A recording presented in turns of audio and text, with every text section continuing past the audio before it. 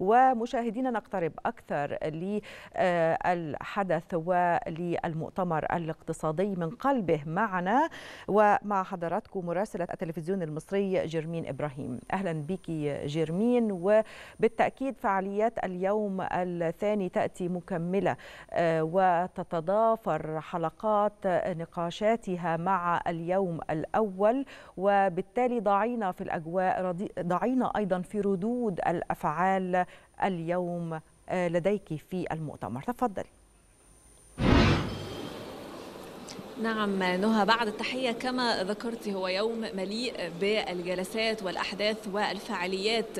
هو ثاني أيام المؤتمر الاقتصادي مصر 2022 والذي أقيم بعد دعوة الرئيس عبد الفتاح السيسي له في وقت سابق وبحضوره أمس في الجلسة الافتتاحية. إذا اليوم هو ثاني فعاليات هذا المؤتمر. نحن نتحدث عن العديد من الفعاليات بإجمالي 13 جلسة متنوعة ما بين جلسات تختص بالقطاع الخاص وجلسات بالطاقة المتجددة. كانت البداية مع الجلسة الأولى والتي انتهت منذ دقائق بحضور وزير رئيس مجلس الوزراء الدكتور مصطفى مدبولي وهي عن إقرار وثيقة سياسة ملكية الدولة ودعم سياسات المنافسة وهي الوثيقة التي تم إجراء حوار مجتمعي بشأنها مع كل أطياف المجتمع لمدة ثلاثة أشهر وهي يعني تأتي في إطار خطوات الدولة لتمكين القطاع الخاص ولزيادة تواجد القطاع الخاص مما يعزز النمو الاقتصادي. إلى جانب هذه الجلسة الهامة هناك عدد كبير من الجلسات. نحن نتحدث عن جلسة عن فرص وأفاق التمويل الدولية لدعم القطاع الخاص جلسة أخرى عن دعم بيئة الاستثمار المحلي والأجنبي في مصر وأيضا جلسة عن دور مصر الإقليمي كمركز للطاقة المتجددة. أيضا من الجلسات الهامة والتي ستعقد اليوم هي عن دور صندوق مصر السيادي وفرص المشاركة مع القطاع الخاص وفي هذه الجلسة سيتم فتح باب المناقشة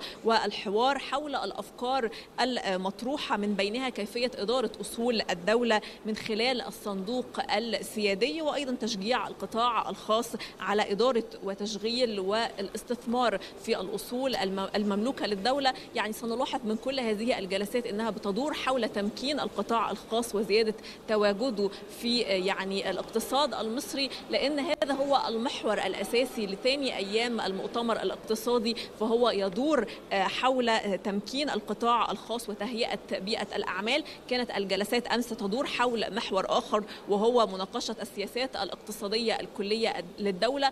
غدا سيكون المحور الثالث والأخير حول صياغة خارطة طريق القطاع الاقتصادي القومي وآليات العمل في كل قطاع. كل هذه الجلسات تأتي في إطار المناقشة والحوار. المجتمعي بين مختلف الأحزاب ومختلف الفئات والاقتصاديين والمستثمرين من أجل وضع خارطة طريق تخص الاقتصاد المصري للنهوض به وليستطيع أن يتمكن من مواجهة الأزمات الاقتصادية التي تواجه العالم كله. وبطبيعة الحال مصر تأثرت بكل هذه الأزمات.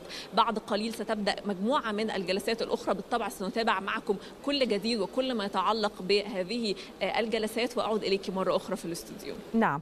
جيرمين أشكرك شكرا جزيلا على هذه التفاصيل المهمة لطبيعة اليوم الثاني للمؤتمر الاقتصادي مصر 2022 أشكرك شكرا جزيلا وبالتأكيد سنكون دائما معك قريبين من الحدث.